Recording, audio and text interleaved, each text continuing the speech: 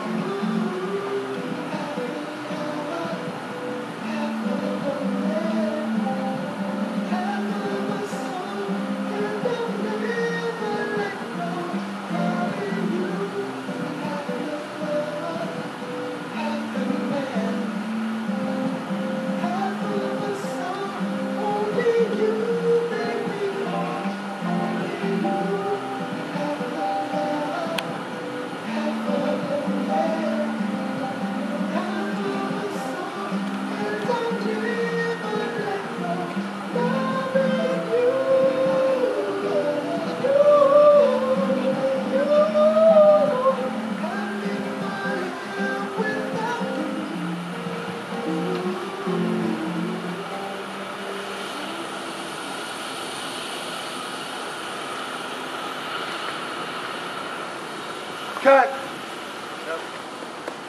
right, very nice. Thank you. My performance is great. I mean, I can sing my ass off. Jevon, nice job. Oh shit! Yeah, oh shit.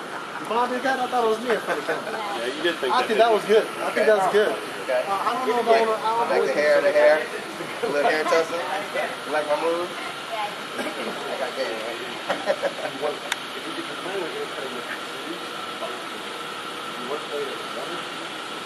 Yeah.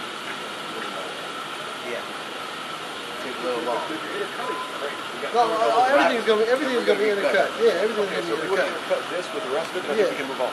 Yeah, we but, know. but if you, but if you want to get more I want, coverage, no, it's gonna punch you for some I'm saying it was gonna be in the cut. Okay, we got three, And 330 then. and I want to.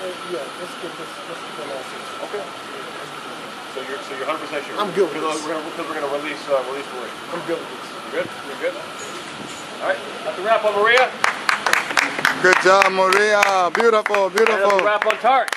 Hey, how do we get? How do we get? Oh, we'll get her back. Thank you. You did great, man. No, no. How do we get them footage and stuff? Good luck with everything. Because she needs to have this stuff. This is good. Yeah, yeah.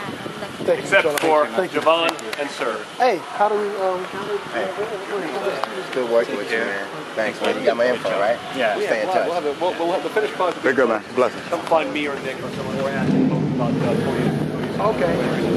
It'll be there. Sir, as always. So yeah, man, uh, Philip Philip Bailey wrote this song, my uncle, and he uh, he co-wrote it with Roxanne Seeman, famous songwriter for Barbra Streisand and Bette Midler, and, and so they wrote this song in '86, believe it or not. And uh, so I went over to the studio in Santa Monica, and they wanted to work with me. So I said, well, what you got? They brought that song out. And right away, you know, I just really like the melody and the simplicity of the song and the message in the song, of, you know, remorse and regret and Yeah, wanting yeah. to get that love back. So, uh, this way, son. you know, I thought I thought it would do it would work well, so we chose this song as being on the record. You know, just mainly because of the melody, the arrangement, and uh, basically because of the fact that my, my uncle wrote it. So, you know, that's always been a dream of mine. Like since the beginning of time, I can remember. Hi, Paula. Yeah. Nice to Stuff. meet you. Yes. Also, your Thank you. Thank you. Bye. Nice to meet you. Bye, Paula. Bye. Have a great day. You too. Bye. Yeah.